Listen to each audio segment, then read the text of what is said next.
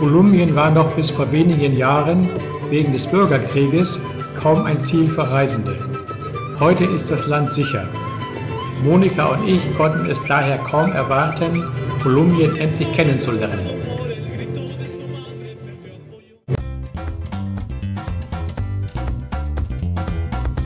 Auf Cartagena haben wir uns sehr gefreut.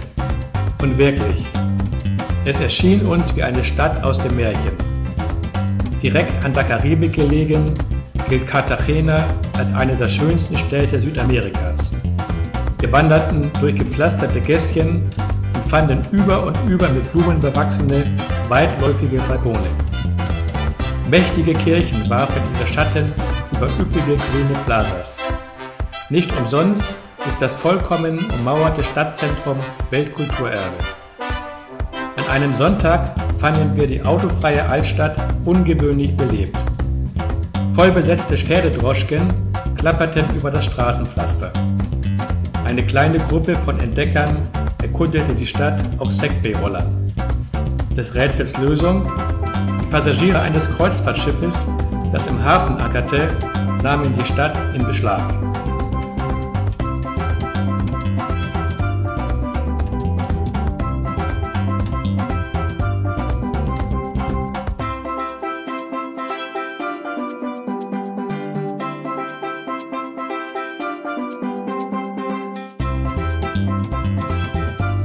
Auf einer Halbtagesfahrt mit dem Bus erreichten wir einen der beliebtesten Nationalparks Kolumbiens, den Tayrona. Nach einer Einweisung durch Ranger machten wir uns auf den Weg.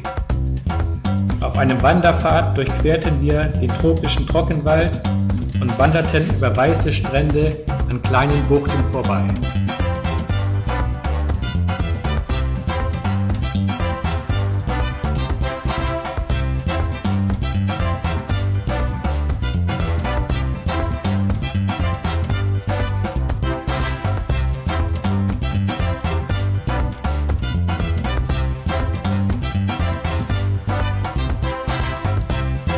Nach einigen Stunden erreichten wir einen herrlichen Badestrand.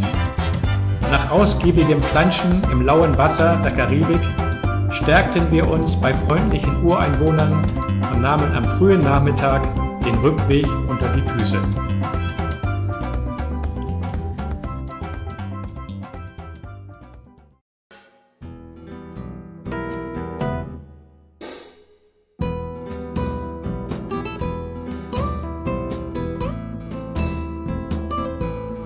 In der uralten Tabakstadt Gijon verbrachten wir einen entspannten Sonntag. Wir gingen zum Marktplatz, schleckten ein Eis und lachten über einen Komiker, der die Menschen unterhielt.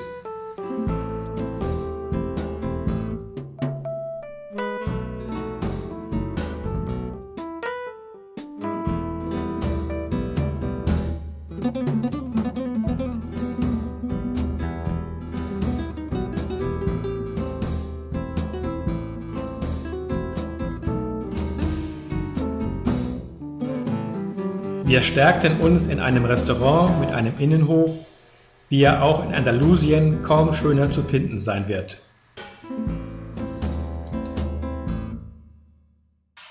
Wir sind in Kolumbiens schönster Kolonie angekommen. Wir wurden Zeugen der Eröffnung eines Museums in Erinnerung an Antonio Nariño, eines Vorvaters der kolumbianischen Unabhängigkeit und Sohnes der Stadt. Das Ereignis wird mit Musik und Teilnehmern in historischen Uniformen festlich begangen.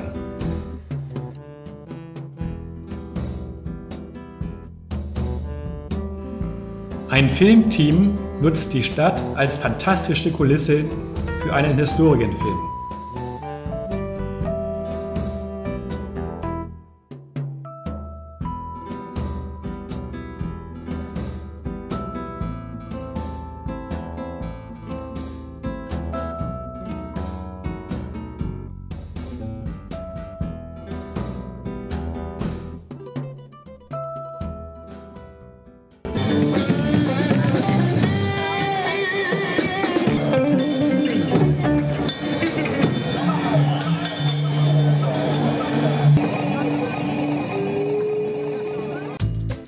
Bogotá befand sich im Vorweihnachtsfieber.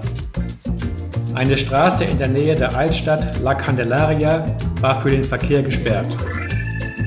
Hier fanden sich fantastische Festbeleuchtungen, weihnachtliche Verkaufsstände, Schachspieler, die ihrem Sport frönten, Straßenmusiker und der Weihnachtsmann ganz sportlich auf dem Fahrrad.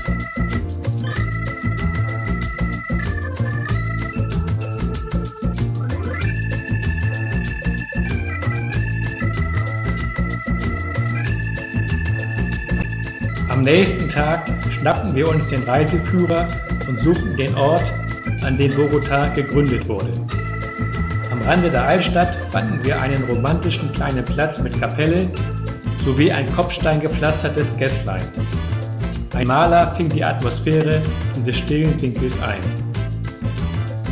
Zum Abschluss fuhren wir mit der Seilbahn auf den Cerro de Monserrate, hoch über der Stadt. Wir genossen einen sagenhaften Blick über die Metropole mit ihren 9 Millionen Einwohnern.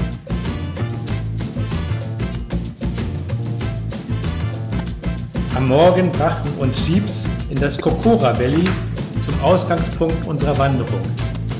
Zunächst folgten wir einen Bachlauf. Baumfahne mit Bromelien bewachsene Laubbäume und bemooste Äste säumten den Pfad. Insgesamt sieben Hängebrücken waren zu queren, bevor wir unser Ziel auf 2860 Metern erreichten.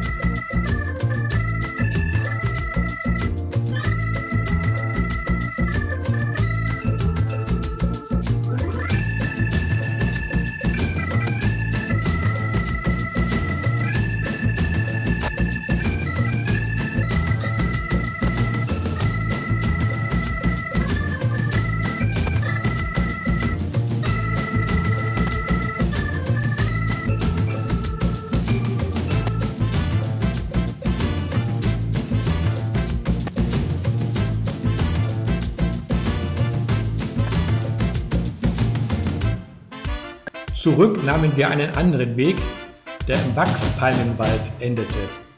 Die Art wächst an den Andenhänger Kolumbiens, ist die höchste Palme der Welt und auch der Nationalbaum Kolumbiens. Hier im Cocora Valley wächst sie auf einem Grasteppich, der grüner und weicher nicht sein kann.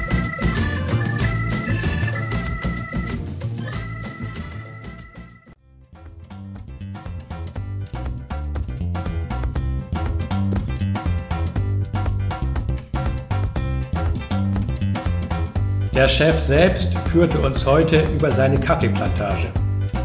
Es gibt tatsächlich nur zwei grundlegende Kaffeesorten, Arabica und Rustica. Die Aufzucht der Kaffeepflanzen bedarf intensiven Know-hows. Die Ernte lässt sich kaum automatisieren und ist sehr arbeitsintensiv. Für uns neu, der Kaffee muss gewässert werden, damit ihm der Zucker entzogen wird.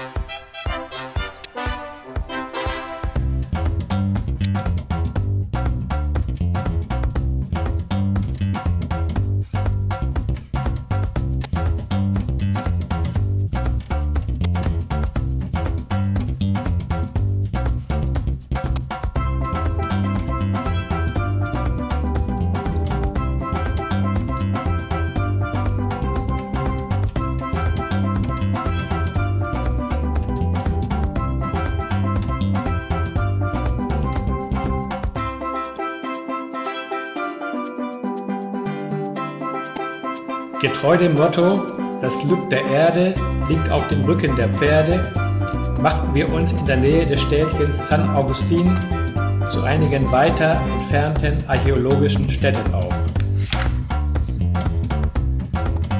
Wir entdeckten Statuen aus vorchristlicher Zeit, an denen noch gelbe, rote, weiße und schwarze Farbreste anhafteten.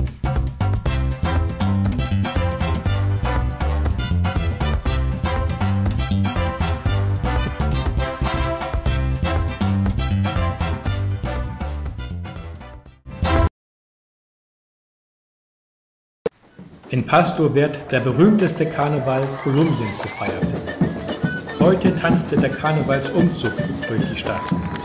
Auf aufwendig dekorierten Wagen präsentierten die Einwohner Legenden und Traditionen und spielten oft auch auf politische Ereignisse an. Für seine Farbenvielfalt, seine Fröhlichkeit und seinen kulturellen Wert hat die UNESCO den Karneval von Pasto zum mündlichen und geistigen Kulturerbe der Menschheit erklärt. Der Karnevalsumzug dauerte geschlagene zwei Stunden. Wir genossen Lebensfreude.